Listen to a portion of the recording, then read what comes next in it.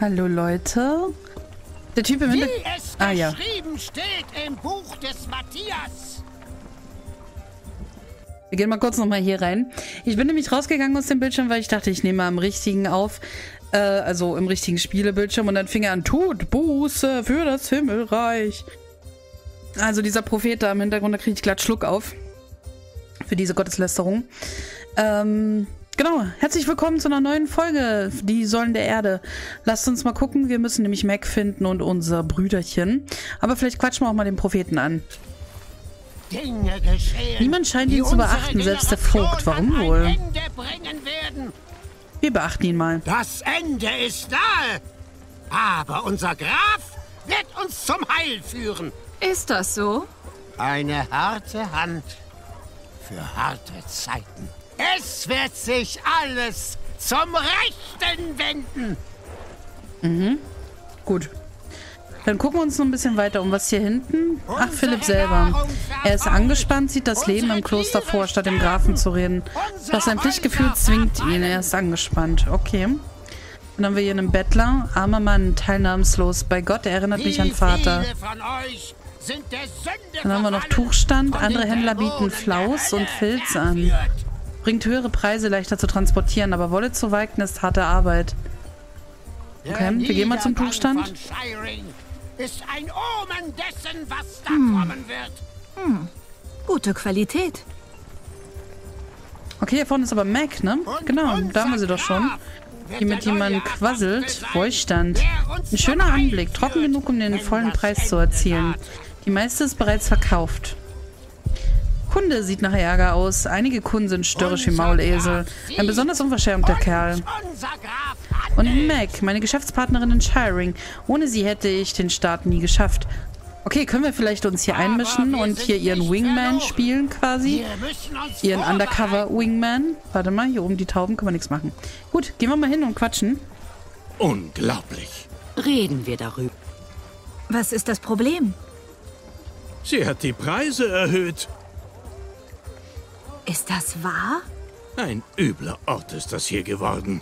Diebe rechts und links. Wenn wir den Preis vereinbart hätten, von dem ihr redet, dann können wir die Wolle gleich verschenken. Mac, es ist gut, dich zu sehen.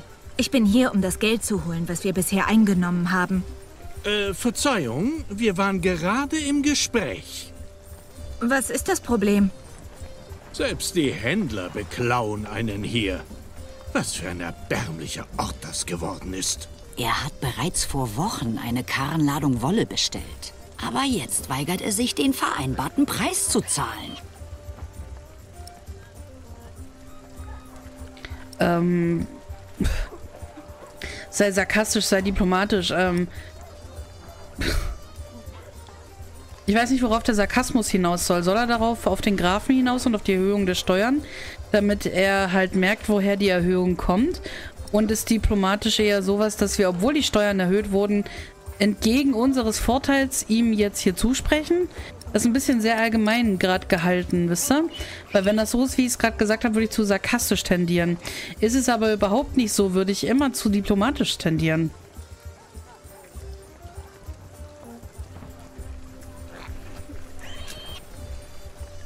Was meint ihr, warum die Preise dieses Jahr so hoch sind? Damit mehr Geld in eure Taschen fließt? Eigentlich hat der Graf alle Gebühren erhöht. Es kostet mehr, das Tor zu passieren, einen Stand aufzustellen und eine Verkaufsgenehmigung zu erhalten. Das mag sein. Aber ich habe nun mal klare Anweisungen von meinem Herrn. Dieser Preis ist zu hoch. Habt ihr den Preis auf einem Kerbholz vermerkt? Gehört ihr zum Vogt? Wer seid ihr überhaupt? Mir gehört dieser Wollhandel. Oh, Hier ist unsere Hälfte, Aliena. Würdet ihr mir nun bitte euren Teil des Kerbholzes geben?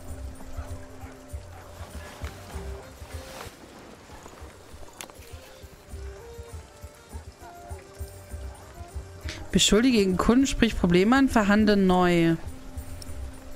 Ich verstehe das mit dem Kerbholz nicht. Wir sprechen Probleme an? Es gibt ein paar Kerben mehr auf unserem Teil. Zwei Stücke, zwei unterschiedliche Preise. Zugegeben, Kerben bei unserem Teil hinzuzufügen ist viel, viel einfacher. Aha, ihr gebt es zu. Aber der Abschnitt mit den fehlenden Kerben ist dünner als der Rest. Du hast recht. Es sieht aus, als wäre da etwas weggeschnitten worden. Was? Wollt ihr mich als Betrüger bezeichnen? Die Zeiten sind hart für uns alle. Ich werde euch nicht dem Vogt anzeigen. Diese Wolle wird nicht genug Kleidung für alle Diener meines Herrn abgeben. Ganz zu schweigen von den Hemden für ihn selbst. Wer sich Diener leisten kann und viele Hemden tragen will, sollte den Preis für eine Wolle dieser Qualität zahlen können. Hohe Qualität? Ja, aber das ist keine so hohe Qualität. Jetzt, da es erwähnt, sehe ich es. Ich kann nicht so viel Geld für so schlechte Wolle bezahlen. Jetzt zweifelt er die Qualität an. Schön. Dann lasst mich die Qualität meiner Wolle beweisen. Ihr könnt's versuchen. Ein Stück der Wolle, die wir verkaufen wollen. Gute Qualität. Okay. Ich habe das jetzt mit dem Kerbholz geschnallt. Das ist anscheinend ein Holz, in das man die ganzen Ritzen reinmacht für den Preis. Und dann bricht man es. Und wenn man es zusammenlegt, kommt man ja auf den gleichen Preis. Außer hier, wie, weil der Heinz hier drüben ähm, das Holz bearbeitet hat, sah es jetzt natürlich anders aus. Aber ich kannte das vorher nicht mit dem Kerbholz, das Prinzip. Aber interessant eigentlich, ne? Ich werde nie mehr mit euch handeln. Bitte beruhigt euch. Vielleicht Erst sagt ihr so und dann wieder anders. Behandelt ihr so eure Kunden? Geh jemanden suchen, der die Wolle beurteilt. Ach so. Okay. Ich finde einen Experten und beweise es. Ich warte. Okay. Ich habe gedacht, wir sollen wie beim letzten Mal beim. Max Händler. Wir waren uns über den Preis. Ich dachte, wir sollen wie beim letzten Mal, wie beim Max-Händler jetzt sagen, hier, guck mal, die ist trocken, die ist fettfrei, die ist sauber, bla bla bla, diesen ganzen Schlons. Aber okay, lautes Moped vor der Tür. Ähm, dann gehen wir hier hinten zum Vlies obendrauf. Tuchstand, würde ich sagen, oder? Das ist nicht der Preis, an den ich mich erinnere. Ihr habt dem Kauf im Nein, Vorfeld ich werde die zugestimmt. Wolle behalten. So knapp bei Kasse? Du sollst die Wolle doch nicht schenken, Alter. Ihr wollt mich Ich wohl bin nicht gekommen, bescheißen? um etwas zu Lasst kaufen. uns einen man Kompromiss sollte finden. meinen, der Graf sei schon schlimm genug. Verdammt. Raubrittertum. Wir waren uns über den Preis einig. Wen können wir denn... Mein Vater hat eine Erkältung. Und vor den Unglaublich. Reden wir darüber. Klaus und Filz? Wer ist denn ein Tuchexperte hier oder Ihr ein Wollexperte? Lasst uns einen Kompromiss finden. Es ist alles viel zu teuer hier. Philipp selber doch nicht, oder? Bittsteller? Bittsteller doch nicht, oder? Tut Buße! Er hier. das Königreich des Den können wir fragen. Guten Tag, Vogt. Werden diese Leute noch lange warten müssen? Wenn du eine Beschwerde hast, sprich mit dem Grafen. Ich glaube, er erkennt mich nicht einmal wieder. Hier irgendwie mit dem drüber reden? Unser verehrter Kunde würde sie vermutlich für meine Komplizen halten. Okay. Die Bittsteller ebenso? Wie es Nein, vielleicht sollte ich nach einer Expertenmeinung sehen. Jemand, der nicht von hier ist. Okay. Können wir Philipp mit reinziehen in die Sache? Die Wolle ist aus Kingsbridge. Er hat sie schon unsere gesehen. Generation an ein Hä? Ende bringen werden. Ähm, hier unser Prophet, der wird doch auch nicht, oder? Nein, aber ich glaube, ich habe flämische! Händler in der Stadt gesehen. Okay. Ähm, den Bettler braucht man wahrscheinlich nicht zu fragen. Ich, ich kann es probieren, aber ich glaube es nicht. Unser verehrter Kunde würde sie vermutlich für meine Komplizen halten. Okay, die Tuchmacher gehen nicht, dann verlassen wir mal den Markt. Mal sehen, wen wir noch finden hier. Äh, was haben wir hier? Mädchen mit einem Stück Fleisch, okay. Schmied, warum sollte der sich mit Wolle auskennen? Brotverkäufer, Mönche, flämische Händler. Hier, die können wir doch, oder? Ein Wollmarkt bedeutet Händler. Die Flamen sind als Händler höchst angesehen. Wenn ich nur mit ihnen verhandeln müsste, wäre das Leben einfacher. Okay. Dann kriechen wir mal zu denen rüber. Bist du der christlichen Kunst nicht müde? Diese traurigen Gesichter und stumpfen Farben machen mich trübsinnig, wie diese ganze Stadt. Wohl wahr. Ich bevorzuge farbenfrohe Gemälde von den schönen Dingen im Leben. Entschuldigt, würdet ihr mir eure Meinung sagen, was die Qualität dieser Wolle betrifft? Natürlich. Zeig sie uns. Oh, wie wunderbar weich. Und wie gründlich gereinigt. Keine Spur von Schmutz oder Fett. Die Fadenstärke ist außergewöhnlich fein. Und die Farbe ist gleichmäßig und hell. Geeignet für Kleider von hoher Qualität. Ich freue mich, dass wir gleicher Meinung sind. Würdet ihr dies auch einem meiner Kunden gegenüber bestätigen, wenn es nötig sein sollte? Natürlich. Schickt ihn einfach zu uns. Bei all diesen Steuern und schrumpfenden Märkten war ich mir nicht sicher, ob es sich noch lohnt, nach Shiring zu kommen. Aber für Wolle dieser Güte lohnt es sich auf jeden Fall. Na, dann lohnt sie doch gleich zu unserem Stand hier hin, oder nicht?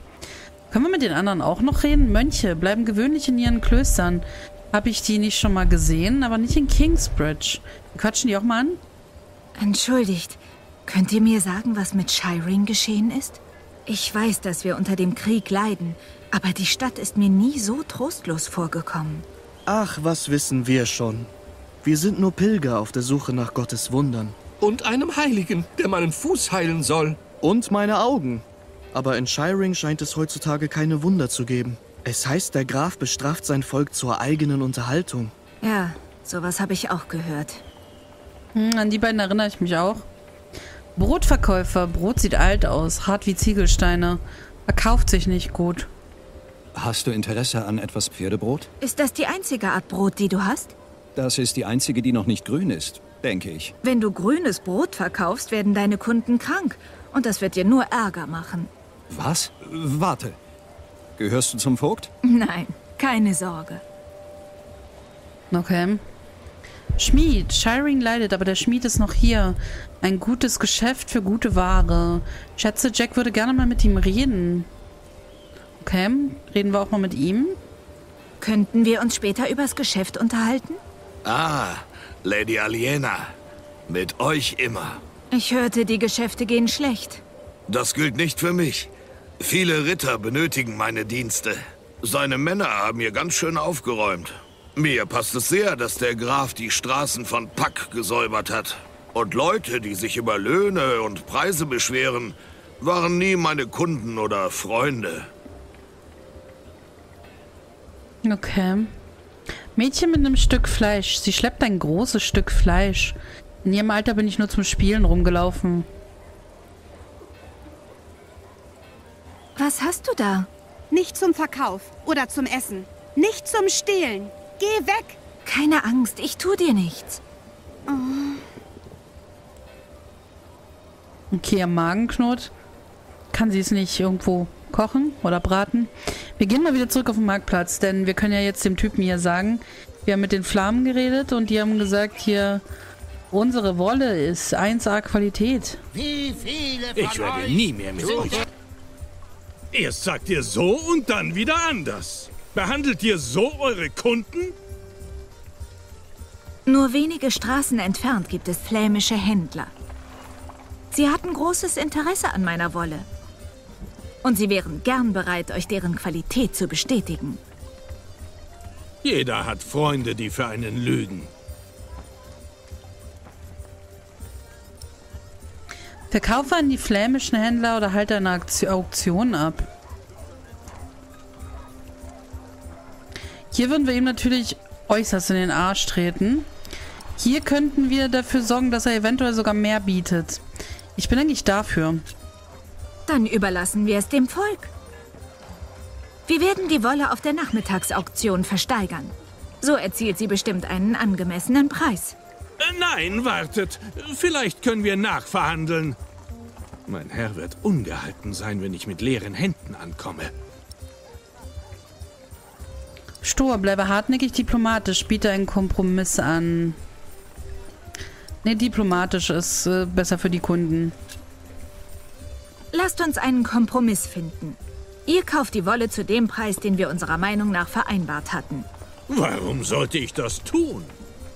Ich garantiere euch fürs nächste Jahr ein Vorkaufsrecht auf meine Wolle. Die Preise steigen, wenn mehr als ein Käufer beteiligt ist. Ich weiß. Mein Herr wäre nicht erfreut, wenn ich eines Tages ohne Wolle zurückkehrte. Und er ist ziemlich jähzornig.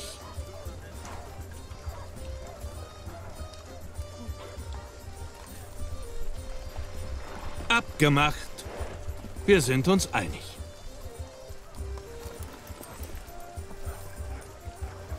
Ich nehme die Wolle zu eurem Preis.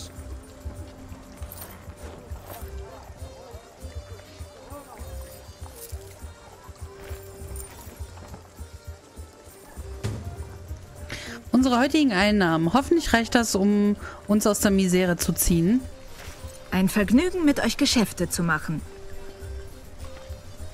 Du hast gut gelernt. Ein guter Händler strebt ein Geschäft an, bei dem sich beide Seiten als Sieger fühlen. Ich hatte eine gute Lehrerin. Noch etwas. Könntest du Ovids Amores für mich besorgen, wenn du nach Winchester kommst? Es ist ein Buch. Ja, ich kann Bruder Theobald fragen. Seine Büchersammlung ist umfassender, als der Kirche lieb sein dürfte. Dann wird er es hoffentlich haben. Vielen Dank. Keine Ursache. Das Buch hatte ich schon voll vergessen. Fähige Händlerin haben wir als, Tuche, ähm, schöne Tuche. als äh, Errungenschaft bekommen. Jetzt müssen wir immer noch Richard finden. Die Fliese waren auch mal größer. Aber wo ist er? Und das Wir haben ja jetzt das mit dem Regen. Wollzeug haben wir. Ich muss die Steuern wieder reinkriegen.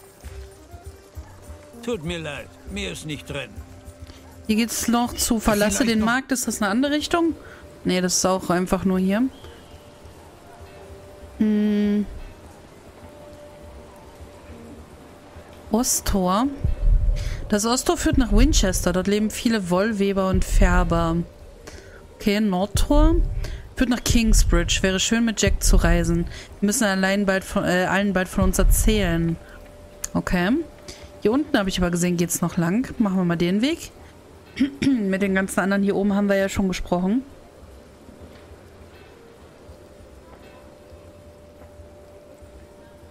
Okay. Welchen? St. George, gedacht als Bauwerk der Hoffnung. Toms Kathedrale sollte sogar sie übertreffen. Gedacht als Bauwerk, Es okay. gibt keinen Grund, dort jetzt hinzugehen. Okay. Kann ich denn nicht hier? Warum? Halt, halt, halt. Sie läuft einfach weiter. Ich kann es gerade nicht aufhalten.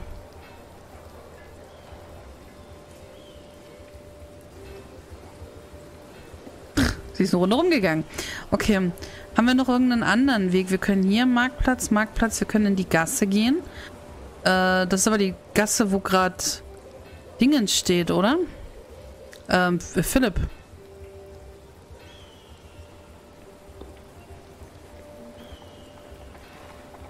Hm, Kommen wir da hinten raus? Okay, was haben wir denn davon?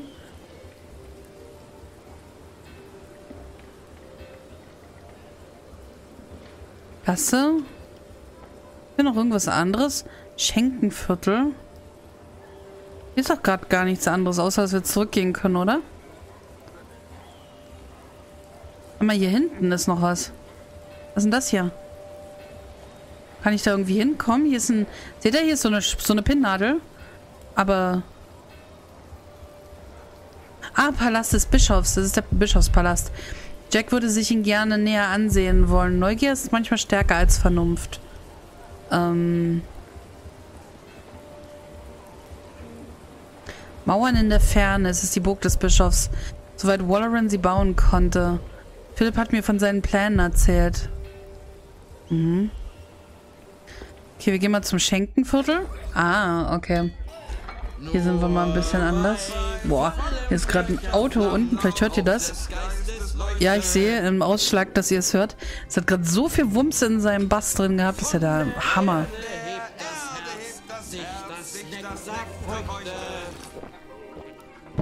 Okay, die singen schön. Säufer. Der Stadtsäufer starrt ins Feuer, noch geistesabwesender als sonst. Ich habe keine Zeit, mich mit ihm abzugeben.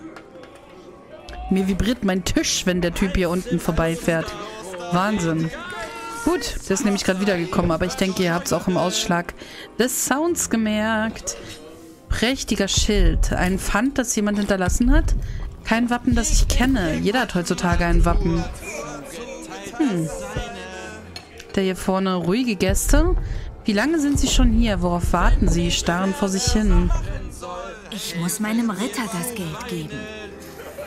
Meinem Ritter. Mhm.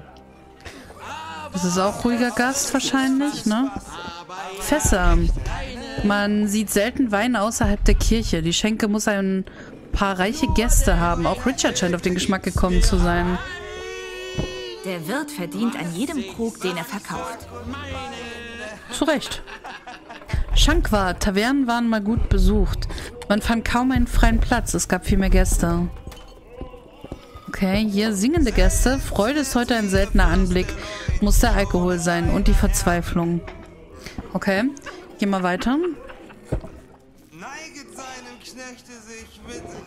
Kann ich die anquatschen irgendwie? Nie bring ich ein Werk zustand, fehlt mir was am Magen. Hörst du? Schenk nach. Aber du hast den ganzen Tag noch nichts zustande gebracht. Vielleicht bin ich dann der nächste Graf. Klingt sehr nach ihm. der war gut. Mit? Nein. Okay. Treppe führt zu den Gästezimmern und anderen Vergnügungen. Ich frage mich, wie viele Gäste sich das leisten können. Okay, die Mark, die bin Typis hier, Krug. Wie oft ist der heute schon gefüllt worden? Hm. Zu oft. Ah, hier ist er. Okay. Alonso, Sir Alonso de Toledo. Manche vergleichen seine Schwertkunst mit Tanz. Ein fähiger Mitstreiter. Simon, Sir Simon von Stapleford. Okay. Und Richard. Hier ist er. Trinkend und prahlend. Und sich vor der Schlacht Mut zu machen. Kann ich die Treppe hochgehen? Es ist nur für Gäste. Na, okay. Gut, dann quatschen wir Richard an, würde ich sagen. Oh nein, Leute, wenn ich gerade auf die Uhr gucke, ich mache das mal hier kurz in den Pausenmodus, damit wir den wundervollen Gesang der Betrunkenen nicht weiterhören müssen. Wir sind schon bei 22 Minuten angekommen, liebe Leute. Deswegen würde ich sagen, wir machen, bevor wir Richard anquatschen, der übrigens schon sehr alt im Gesicht geworden ist, oder? Es sind doch nur fünf Jahre vergangen. Da kann er doch maximal eigentlich jetzt in den 20ern sein, oder? Sieht aber, also er sieht älter aus, aber na gut. Ähm, das macht der Bart wahrscheinlich. Wir legen jetzt eine kleine Aufnahmepause ein, quatschen in der nächsten Folge mit Richard und dann haben wir eigentlich als Jena alles erledigt, was wir hier erledigen wollten, glaube ich, in Shiring. Und dann werden wir bestimmt auch als nächstes die Rolle wechseln zu Philip. Und dann werden wir mit Percy reden dürfen. Das wird nochmal interessant. Also, liebe Leute, das und noch vieles mehr erledigen wir dann in der nächsten Folge von Die Säulen der Erde. Also bis dann. Tschüss.